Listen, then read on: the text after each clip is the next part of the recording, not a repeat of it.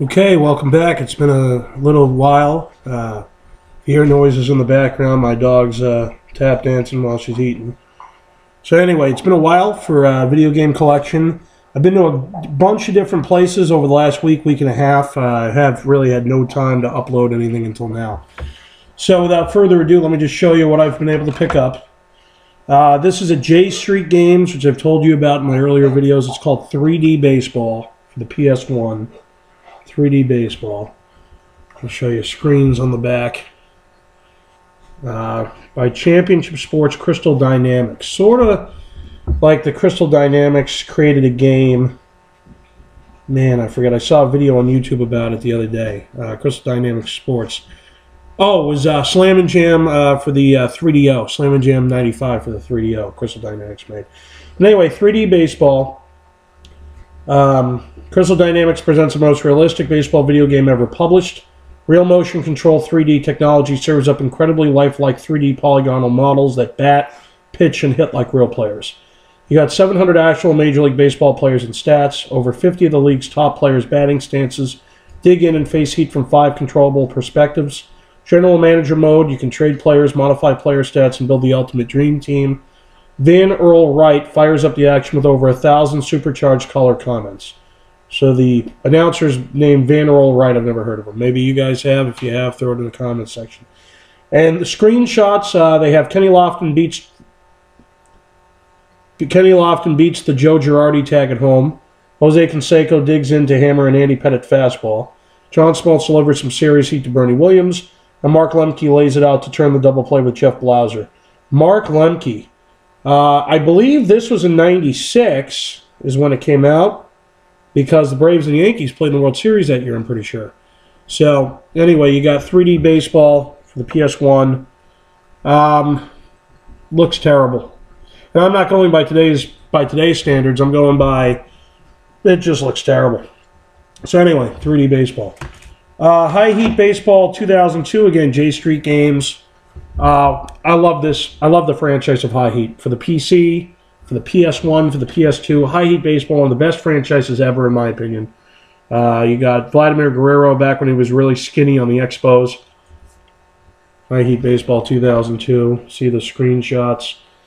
Um, official PlayStation Magazine says we might be looking at a Yankees type of dynasty with High Heat 2002. Uh, All Star features high impact TV like game presentation and rock and audio. Stunningly accurate stadiums result from thousands of scouting photos. Incredibly lifelike star players with signature moves and facial details. Intelligent crowd excitement, or ICE. Animated crowds get louder during exciting moments and even leave the park if a game is a blowout. That was pretty cool. I remember that back from the previews when Game Informer uh, covered this. Plus, fan favorites like the most accurate rosters with real MLB teams and MLBPA players umpire arguments, player ejections, drop third strikes, and catcher snap throws, intelligent mound visiting managers, and animated base coaches. I remember that feature. Uh, it was really cool. The, the, the uh, manager would actually visit the mound to give one of the first games to ever do that, to actually give your guy in the bullpen um, more time to warm up. And then you got a two man booth with play by play and color commentary, and then some of the Screenshots you got featuring all of your favorite MLB stars, the most lifelike pitching, batting, base running, fielding, and managing. And it still comes with the MLB sticker on the back. If you can see that seal of approval there. Boom.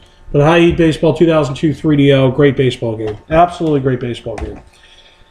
Then the next two games I want to go over, I actually went to a. Um, I don't know if you guys remember the video I did about the game store in Vermont, Bennington, Vermont uh, the games Gamers Grotto. But I actually went to a thrift store in Vermont, in Bennington, Vermont, either Bennington or Pownal, I forget which city. Uh, and they said, I remember and on the way back from the Gamers Grotto, they said, Oh, we got a ton of games, but they were closed. They closed at like 7 o'clock. So I was pissed. I had to go back the next day, and they didn't have a ton of games. I mean, I, I was pissed. You know, the woman's like, Oh, we got a ton of games here. Yeah, you're just going to have to come back tomorrow. We got a million of them. What they had was they had them mixed and matched within CDs. So they had like seven PC games and like four PlayStation 1 games. Two, however, happened to be ones I was missing. So the first one, real simple, Madden 01 for the PS1. Show you the graphics on the back. Real easy stuff. Okay, uh, go deep with Madden NFL 2001.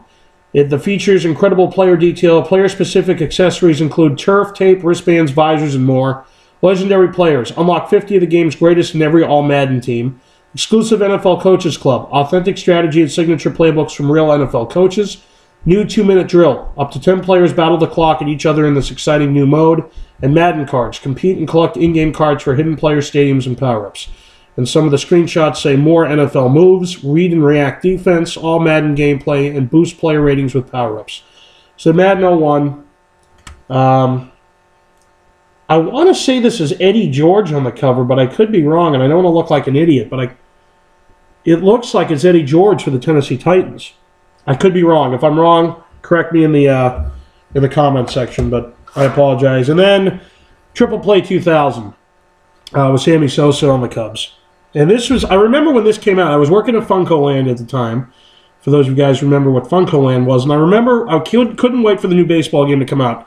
And I remember seeing this cover. And it's all like polygonal yellow with Sammy Sosa as a polygonal player. And I this was like the weirdest cover I've ever seen. Not because of Sammy Sosa, but because of the yellow. It's ugly as hell for a cover. I mean, it ugly. Ugly, ugly, ugly. But anyway, here are the uh, screenshots on the back. Triple Play 2000. So this is Power Baseball. More control, more action, more power. And if I remember correctly, this is when the game started getting arcadey. But you get a head-to-head home run challenge, multi-season play and full fantasy draft, new camera angles, see the action, make the plays, and create trade sign and release players. And those are the game features. And then you got screenshots that say monster home runs, real emotion, and aggressive gameplay. So again, Triple Play 2000. I got that Madden 01 at a thrift store for like two bucks each. So that adds the collection that I need. This is pretty cool. This next one I got, uh, well, before I get to that, hold on a minute. Let me just, I went to J Street again, double check, because I cleaned them out. Were the one closest to me. There was one that I remembered I did have when I was a kid. Uh, Frank Thomas Big Hurt Baseball for the Genesis. Okay, complete in box. As you can see. Pretty good condition. Stats on the back. Pretty good baseball game. Claim made decent baseball games. Um, Acclaim's next generation technology means the most realistic hardball action ever. And I'll just give you the screenshots again on the back here. But you got 700 plus MLBPA superstars. You got Maddux, Nomo, Justice, Vaughn, Baerga, Puckett, Alomar, Bonds, and more. Exclusive simulated stats from Bill James Stats Incorporated. Real baseball action. Adjust lineups and fielders, run down stolen bases, squeeze plays, double play pivots, high spikes, and bad hops. Pitchers tire and have hot or cold streaks. Three games in one, including Clutch Time Simulator and the Big Hurt Home Run Derby. You got quick play mode, one strike and you're out. Customized stadiums, battery backup for 23 stat categories. So real, it hurts. Frank Thomas Big Hurt Baseball. And the graphics say dive to take away an extra base hit, track and save stats in 23 categories, individual team and conference leaders. Realistic motion capture, pitching and fielding turn two at second. Ultimate graphics put you right in the batter's box. Those clouds could mean a rain delay. And if I'm not mistaken, I believe there were rain delays. If not the Genesis or Game Boy versions, there was in the Saturn version. And I, I don't rem- I want to say there was. It was one of the first games to em- em- uh, emulate uh, rain delays and stuff. But anyway, Frank Thomas Big Baseball. And again, I could be wrong. I'm probably mixing 73 different baseball games together. The next game I got sealed, and I figured it'd be a, a pretty penny. And I don't remember the box looking like this. I could have sworn it was a different box. But this is sealed. Pack factory sealed. Uh, I got online, and it's Virtual Fighter 2 for the Genesis. And all of you guys remember the Virtual Fighter games for uh, Saturn and the arcade, but they actually came out with the second one, only the second one for the Sega Genesis. You can see on the back, and this is sealed copy. I don't know if you can see the ripple of the plastic, but it's sealed. And uh, I remember when this came out. I remember back at Funco Land, this was like forty-five dollars used, brand new. I got stole it. This was back then when it first came out too. But the number one fighting game comes straight from the arcade to Sega Genesis. Play as any of the eight original Virtua Fighter arcade characters. Vibrant colors and beautiful backgrounds show off the graphic capabilities of Genesis 16-bit processing power. Ready, fight, it says. You got eight playable Virtua Fighter characters. Akira, Pai, Jackie, Sarah, Kage, Wolf, Lau, or Jeffrey. Hundreds of cool arcade fighting moves, and choose between six different fighting uniforms per character. So anyway, Virtua Fighter 2 sealed in the in the box for the Sega Genesis. One of the games I was missing for my Genesis collection. And that is it, folks. Uh, I have two more videos coming at you. I got one for some stuff I got online, and then another video will be upcoming for a game store that I just found out about in Springfield, Mass, uh, called uh, Game Hunters. And uh, I got a ton of stuff there. They got a cool store. Check them out.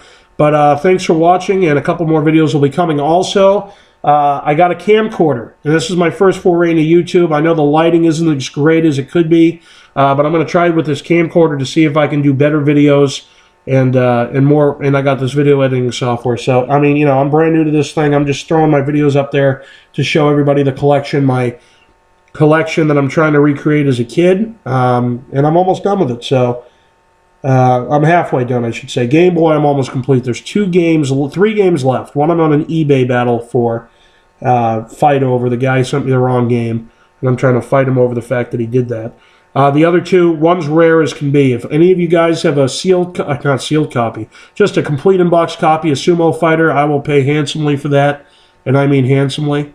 Um, you know, that's Sumo Fighter. And then if any of you guys have uh, Adventures of Star Savers, complete in box for the Game Boy, is the only two I'm missing, uh, besides the one I'm in an eBay battle for. So anyway, thanks for watching, and I got more videos coming at you.